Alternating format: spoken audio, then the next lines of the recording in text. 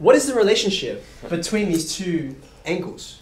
What are they called? It starts with an S. Oh, Think about it. I don't know what that They're supplementary. They add to 180 degrees or they add to pi radians. Okay? So how can I connect an angle and its supplement in terms of cosine? Okay? It's really easy. If we think about it like this, okay?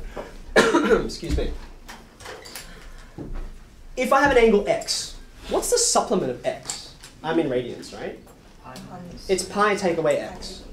Pi take away x. Okay, so I'm trying to understand the supplement of x and what I can say with its cosine. Okay, but this is just a pretty standard trig expansion, is it not? It's a trig expansion.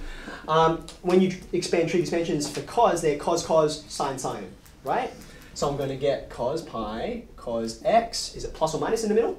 Well, It's plus because cos is backwards, and then I go sine sine. Happy? Yeah, looking okay. So here, what have I got? Well, I know what cos pi is, and I know what sine pi is. What's cos pi?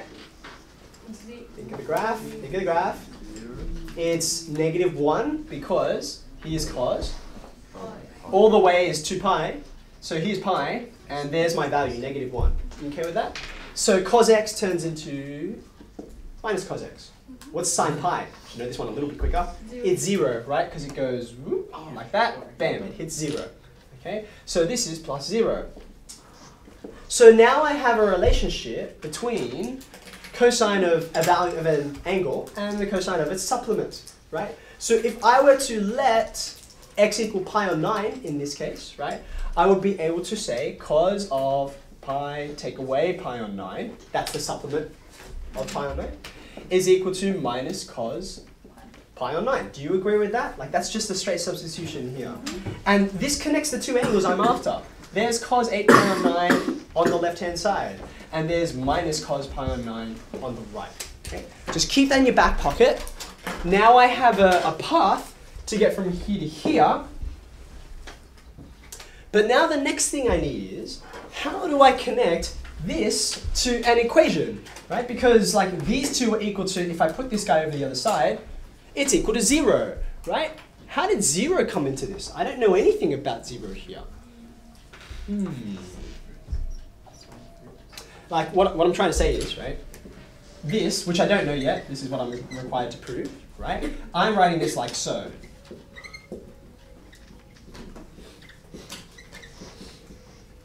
Are you okay with that? Like that, I know how to get to that. That comes straight from here, because my 8 pi on 9 is turned into that, that minus cos pi on 9. But how do I know that this whole thing is equal to 0? Okay? Now we're heading into polynomial land, right? What this is, is the sum of roots. This is the sum of roots, like that's in fact what it means. That's the way the question is phrased, right? I've added up all the roots, and this is what I've got, okay? Also, that equals minus nine. Now, apparently, according to the result they're giving me, the sum of all the roots is equal to zero. Well, how, where do I get that from? How can I intuit that? And the answer is, you come all the way back to this equation that you got given, right? Now, this is not a quadratic. It's not a quadratic, right? Um, but you can deal with it. In fact, and this we will get to this when we do polynomials in extension one.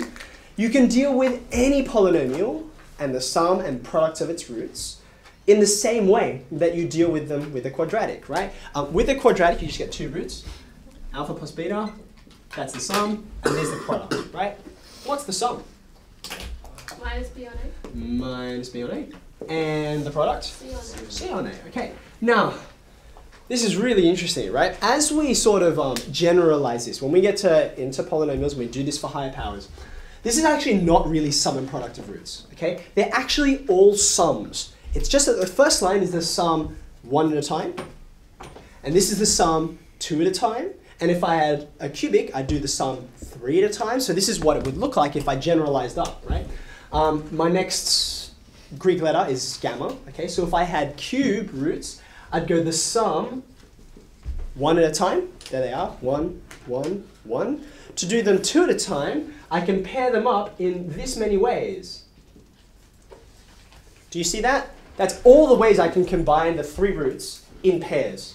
You see that? So that's the sum two at a time. And then what's the sum three at a time? There's only one way to put all three of them together A, B, alpha. alpha, beta, gamma. Okay? Now, what's really interesting, and we'll prove this formally, is that these results are still exactly the same.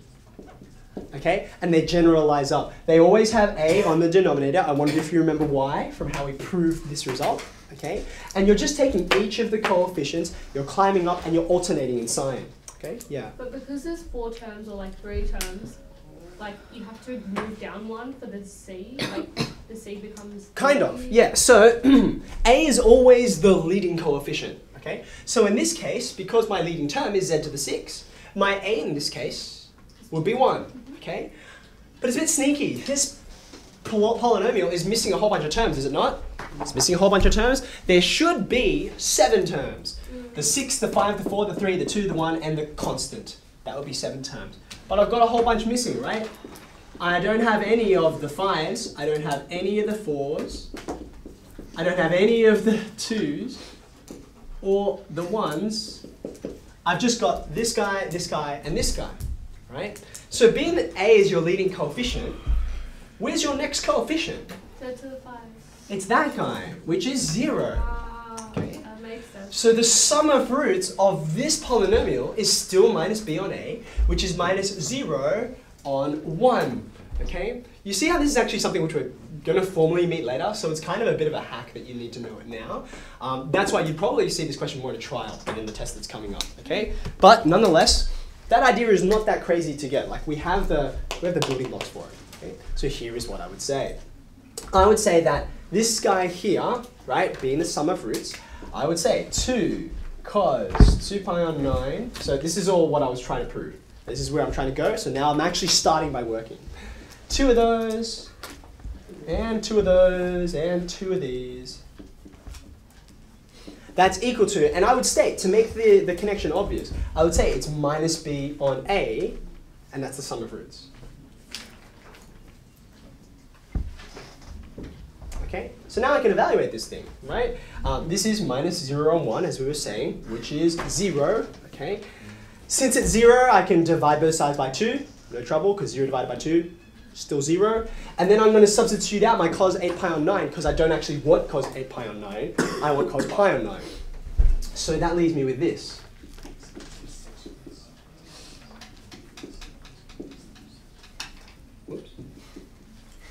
Okay? You happy with that?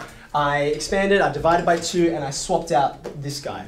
Okay? From there, as immaterial, you're pretty much at the result you're trying to prove, so I'm not going to write down because I'm at the bottom of my whiteboard. Okay? But that's the substance of how that result comes about. Mm-hmm. Okay?